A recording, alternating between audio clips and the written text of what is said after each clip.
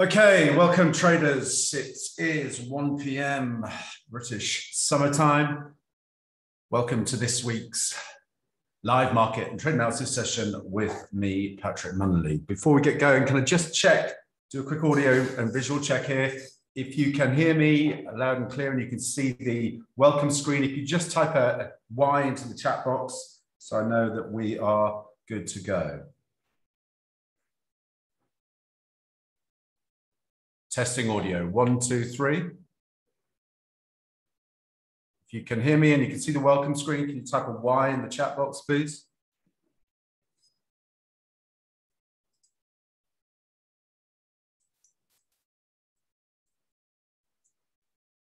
Good stuff. Okay, let's get going here. Uh, first of all, as always, want to adhere to the risk disclaimer. And most importantly for today's session, what, uh, what we want to pay attention to is the fact that the views expressed by me are solely mine. They are not indicative or representative of those held by Tickmill UK or Tickmill Europe Limited.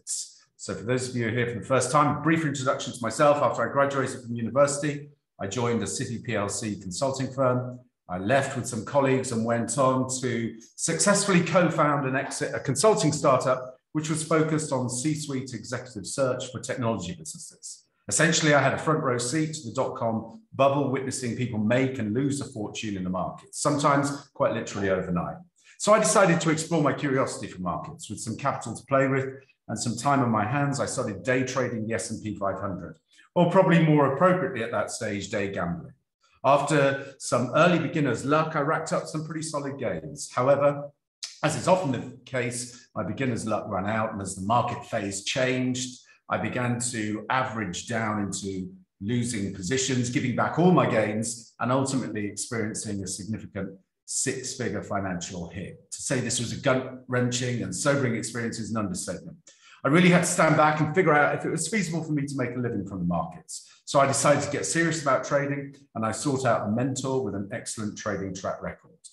Working with my mentor for a period of 18 months two years was a time during which I upped not just my technical game in terms of researching, developing, extensively back and forward testing strategies that crucially suited my personality, all of which were underpinned by a rigorous risk management approach. Most importantly, though, during the period of mentorship, I significantly developed my mental game. And probably most importantly of all, I made the watershed shift from being a highly goal orientated individual focused on financial gains to becoming purely process orientated. So, what does that mean? Well, it means I had to stop focusing on what I could make from the markets and start focusing solely on managing my mindset to allow me to consistently execute my trading strategy, oftentimes in the face of negative feedback from the markets in the form of losing trades. But once you become process orientated and you have a professional trading mindset and you understand the true nature of trading being a numbers game in which you're simply playing the probabilities, you lose that emotional investment and hellish emotional roller coaster of living and dying by the outcomes of individual trades. So I'm no longer concerned with the outcome of individual trades or even a small string of trades. My focus on the next 100 trades because I know if I focus on excellence in execution, my edge will demonstrate itself over this, an extended series of outcomes. My multi-strategy approach has delivered profitable annual returns since 2008. Since 2013, I've also been managing investor capital through a managed account service, again, delivering annual positive returns. I'm currently responsible for managing a multi-million dollar portfolio. Since 2010, I've mentored hundreds of private traders of all experience levels from complete novices to former CME floor traders in developing the technical and mental skills to reap consistent returns from the markets. In addition to my fund management and mentoring, I'm a resident market expert, exclusively providing market and trade analysis to Tickmill clients. I provide an in-depth daily market outlook, breaking down fundamental and technical drivers for the trading day ahead. I'm also, I also provide daily technical trade setup videos um, shared through the Tickmill TradingView account. And I'll post a link for you to access that uh, those videos uh, later in the session. I also run Tickmill's rapidly growing E-mini strategy group where I post a daily video outlining my pre-market trading plan for the New York cash trading session of the S&P 500. I give my bias for the day and specific action areas where I'm looking to engage the market. These pre-market plans have delivered over 2,500 points of profit since we launched the group last year. The second Tickmill strategy group I run is for traders who really want to take their trading to the next level. The Tickmill Futures Trading Telegram group is a real-time environment where on a daily basis, I share in-depth insights, analysis, and trades. I also provide live market commentary during the opening hour of the New York cash trading session, where traders can essentially see in real time how I dissect the markets and I identify asymmetric trading opportunities. These sessions act as a platform helping traders to develop a professional, consistent approach to navigating the markets and the mental mind games that must be mastered to make it as a profitable market operator. Okay, so that gives you a flavor of where I'm coming from. Let's jump into today's charts. Um, what I would say before I begin is um, I'm going to cover a bunch of markets where I see uh, imminent potential trading opportunities. Um, if you have any questions, if you just type them into the chat box, and uh, once I finish the running through the charts that I'm tracking, I'll, uh, I'll cover off any questions you've got. Equally, if you've got uh, an instrument you want me to take a look at that I don't cover in my presentation, then you can just pop that into the chat box and I'll give you a view on that at the end of the presentation. Um, Antonio, how can I get to just uh, I'll, I'll give you my email address. I'll put my email address on the screen at the end of the session, Antonio, and you can get in touch with me via email.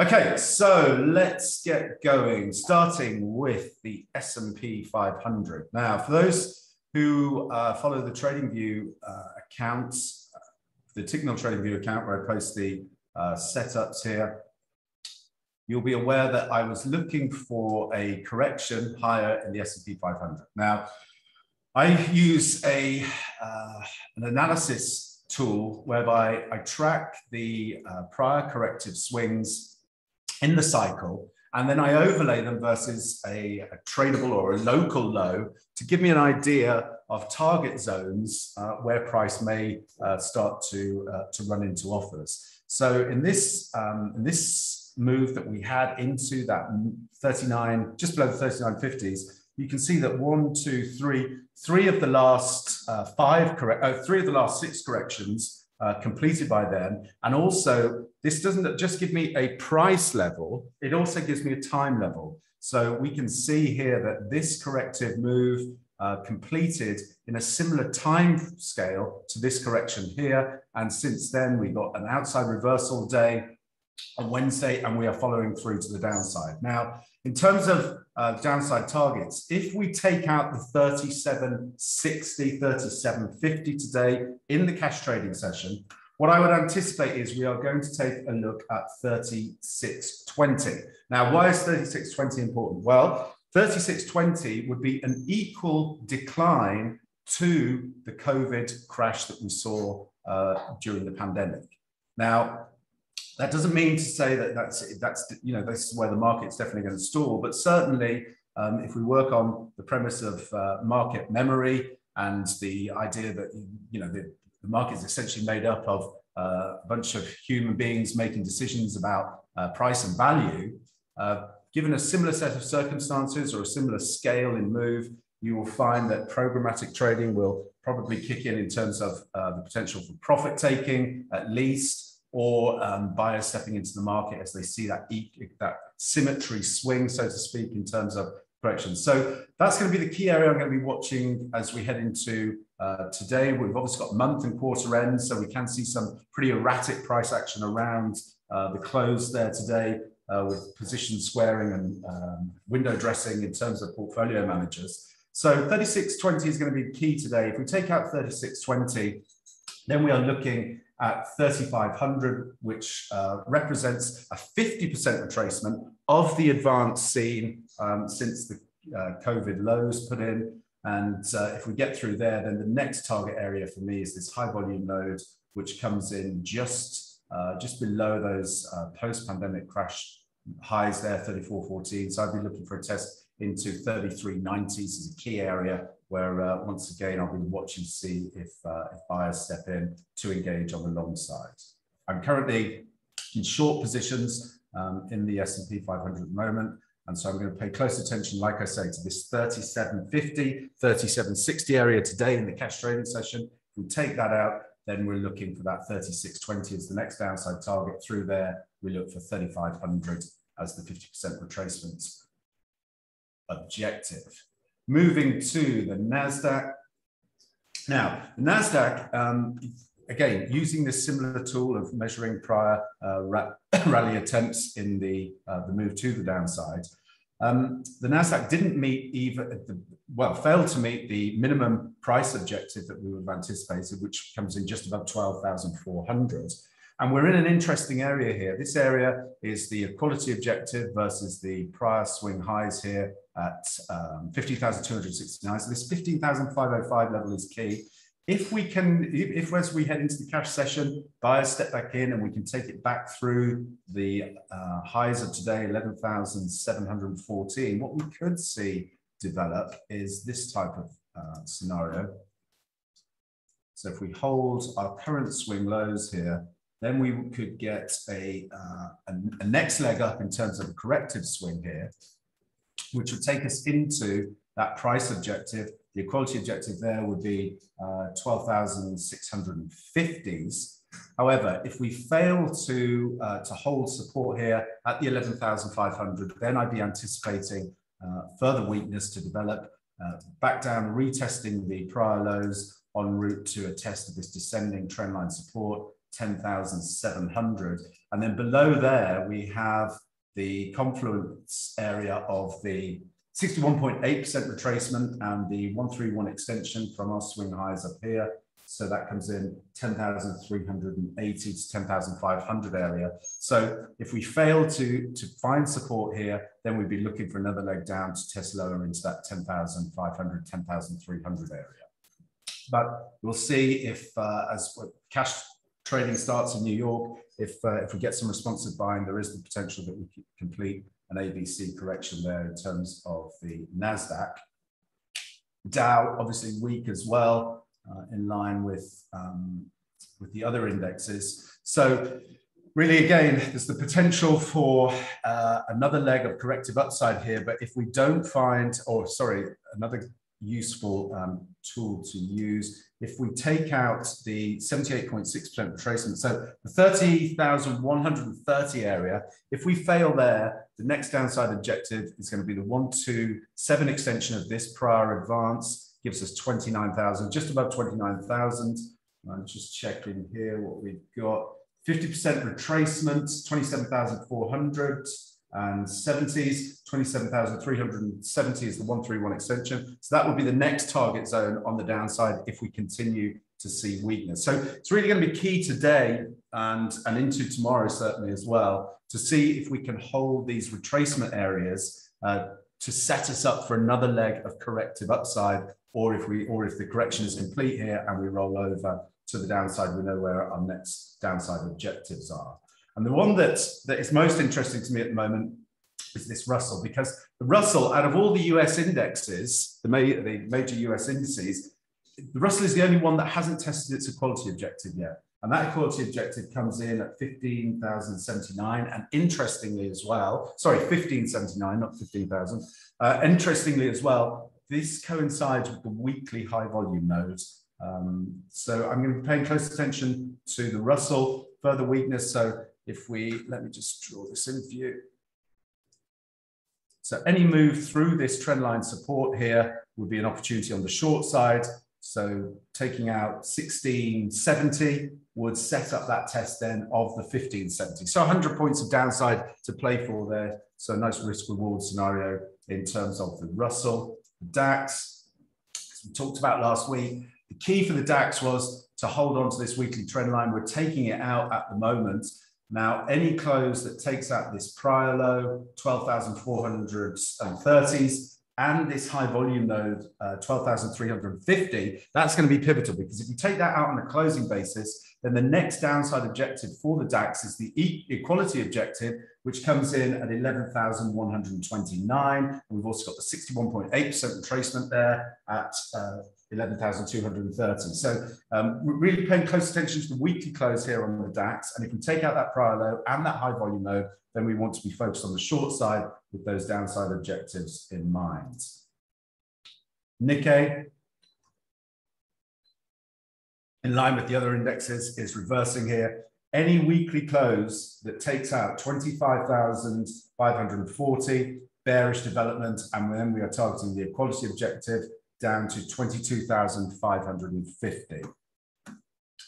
Moving to the FX space, taking a look at dollar index, we are setting up for this eventual fifth wave test here. And the target for me on this one is this R3. Now, this is going to be a pivotal um, pivotal test here, especially if we get it today, because what we've got coming into today, like I said at the beginning, is we've got month end um, rebalancing taking place. And portfolio managers, due to the uh, disparity between the performance of uh, US and uh, other equities, are having to um, are, are, basically having to buy dollars to uh, rebalance their books. And that could see this dollar index finally pop into our target zone here 106.30s, 106.17s. uh, From there, as long as we maintain this momentum divergence, I'm going to be moving into dollar short positions um, certainly thinking about a, a, corrective move back into test support to the 101.30 area will be the, uh, the target for me on, uh, on the downside initially, um, because we should see this, um, this completion of this fifth wave move. And then in terms of further downside targets, we can see the weekly trendline support coming in just above the 100 level, 150. So pay close attention to uh, the, the 430 UK time. That's when you get the, the London fixing flows. If we see a really nice spike in the dollar and then a reversal, that's going to be an opportunity to move into tactical uh, short positions in the dollar, to my mind anyway. Um, equally here with the euro, any break through the support at 103.50, the target is 102.40 on the downside. So that would broadly co um, coalesce with the dollar testing above that 106. From there, I'm watching bullish reversal patterns to trade tactically long euros, looking for a move back into that 103.50. And then the trend channel support comes in 104.70s. Uh, Sterling, we, we held that 120. We've got a nice, a decent reversal. Not uh, not as uh, not as strong as we would like to have seen, uh, but we obviously are seeing sterling weakness in line with the other majors. So we could break lows here um, through that 119.30 giving us a test of 118. From there, I'll be watching for bullish reversal patterns, looking for the trend channel test there, 120, 180. So again, sterling's obviously going to take its lead today um, and tomorrow from the dollar index. So really want to pay close attention to that dollar index because that's going to give us the, the key signal, the confirmation signal with respect to um, these FX majors. Dollar yen is another one I'm paying very close attention to. I think this has the potential to uh, ping up and test now the ascending um, wedge resistance coming in 137.70s. From there, I watch for bullet, uh, bearish reversal patterns as long as we maintain um, negative divergence here in terms of the uh, momentum indicators. And then we look for a break of the trend line support, 135. And I think that gives us a move back down to 131 uh, for a corrective play there in terms of the dollar yen. And taking its lead from the, the yields, we talked about this last week, we've got a pretty meaningful double top in place here at the uh, 3.248%. We tested our target zone of 3.5 and have reversed sharply. And these yields have been trading uh, in close correlation to the dollar yen. So this weakness we're starting to see in the yields on the re recession fears um, should start to weigh on the dollar yen and give credence to that setup in terms of the wedge pattern bunch of other yens I'm watching. This euro yen is looking weak to me. We're getting a, an outside reversal here, and we are flipping the um, five, five week uh, volume weighted average price bearish here. So I'm going to be looking to be short dollar yen uh, through 141.30, initially targeting 139.46, but ultimately I'm looking for this high volume node 136.70 as, uh, as the next downside objective. Sterling yen as well, rolling over. I'm looking for sterling yen to take out last week lows. Then I want to engage on the short side, targeting a move down to test uh, trendline support into the 158 area. We have that uh, high volume node there as well, 156.30. So those are some of the downside targets we're looking for as we break last week's lows in terms of sterling yen. Again, flipping that five week um, volume weighted average price bearish as an additional confirmation. We haven't really been able to get any traction above the, uh, the 166 handle in terms of dollar yen. And similarly, in the euro yen, we've been rejected now three times nice topping tail patterns from the, the yearly R3. We've got nice momentum divergence in place. So I'm really favoring some of these yens uh, as short opportunities. Uh, Aussie yen holding up pretty nicely, actually, holding this, uh, this trend line support. So really I'd need to close through that trend line support and the high volume node here to engage on the short side, looking for a test of 90.49. Alternatively, if we break higher, then I'm looking for uh, triple divergence to develop and uh, this ending diagonal pattern 9780s, which bearish reversal patterns, and I'll be engaging there on the short side. CAD yen holding up with, uh, with a bit of a pop that we've seen in crude.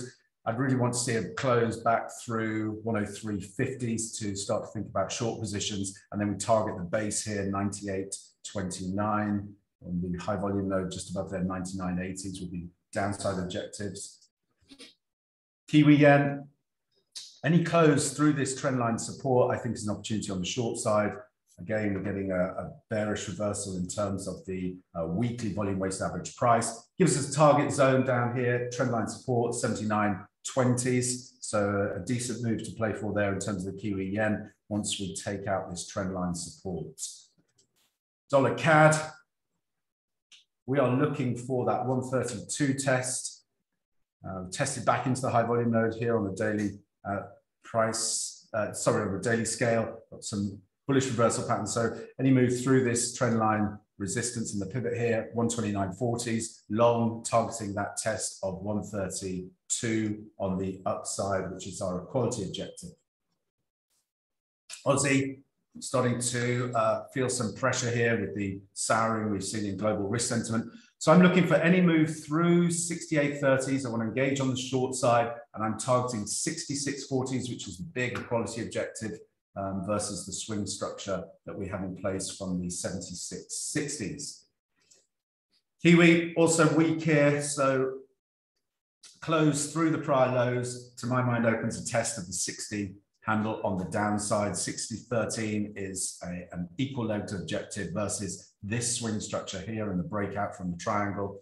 Um, so that's the downside target there. We do have an equality objective 61.26, but bear in mind the position that the dollar's in and uh, some of these other commodity currencies, I think we can trade a little bit lower there. So I'm looking for that test of the 60 figure. Oil, uh, sorry, gold breaking down as, uh, as we talked about last week. So any move now through 1780 gives us that downside objective of 1670, which is the big quality objective and really the base of this bigger trading range that we've been in um, over the past few years. So from there, I'll be watching for bullish reversal patterns. There are some big cycles, uh, 60 and 90 year Gann cycles that come into play um, in August with respect to gold and the gold miners. Pay close attention to where we, we trade in August in gold. I think there's an opportunity for a, uh, a significant move, um, potentially to the upside once we complete this corrective move. Silver breaking down now and a daily close through that 2042 level gives us 1848 as the downside objective for the major corrective swing to complete. And then we'll see from there if buyers are going to step in and again, if we get that reversal in gold, that should take silver with it, and we'll be looking for upside in some of these precious metals and, uh, and weakness in the dollar to help drive that. Let's check in with these cryptos having uh, further weakness, taking out the uh, briefly overnight, taking out 19,000 to the downside. My target is into the equality objective. 12,000 is the area where I'm going to be paying very close attention to Bitcoin. Alternatively, if we can take out this trend line resistance back through 24,700. That could suggest that we've seen a uh, decent tradable low in place and we look for a move into the high volume node 29,700. But for now, nothing for me to do at the moment. I'm just watching for this 12,000 test to, uh, to set up. Similarly with Ether, we are looking for 851. So close this week through the thousand level. I would play tactically short, looking for that test of 851 to complete this uh, major corrective cycle versus the swing structure that we have in place here in the uh, 3580s swing high. Let's just finish up here with uh, copper. Copper's coming into the corrective target zone that I talked about, uh, 3.5865, uh, 3.5240 is the area. From there, I'm going to be watching for bullish reversal patterns to engage on the long side, uh, looking for a move then into trend channel resistance in the high volume node 4.4370. So that's the whistle stop tour, so to speak, of the, uh, markets that I'm tracking. Really pay close attention to this dollar price action into the London fix today. If we can spike that 106 and get a reversal, then I think we have decent, some decent trading opportunities, decent risk reward there for a pullback to uh, to develop in terms of the uh, dollar and some of these FX majors at, uh, at some decent levels as well. And pay close attention to that Russell when it tags that equality objective. That could be uh, that could be the catalyst to see a turnaround in terms of some of these equity indexes. But line in the sand today is going to be 3550, 3560 in terms of the S&P, mini S&Ps. And um, if we break through there, then we know we've got 3620 as the next downside target ahead of 3500. So that's uh, those are the markets I'm tracking. Are there any questions, or would anyone like me to take a look at the chart I haven't covered and just type it into the chat? I'll um, I'll also post some links for the uh, S&P 500 strategy group. You just simply uh, request access on Facebook and I'll add you to that. I'll also give you the uh, Tickmill trading view link so you can follow these trade ideas through the daily videos that I post there.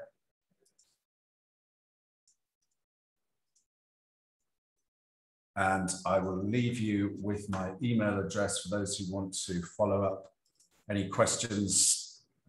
Uh, you want to reach out to me on email. My, you can reach me at patrick.munnelly at tickmillpartners.com.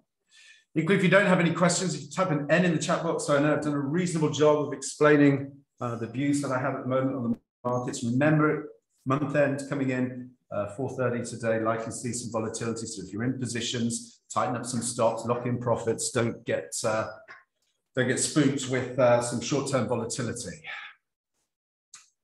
Okay, I can't see any other questions coming through. So I'm going to wrap this session up here. As always, traders, plan the trade trade the plan, and most importantly, manage your risk. Until next week, thanks very much.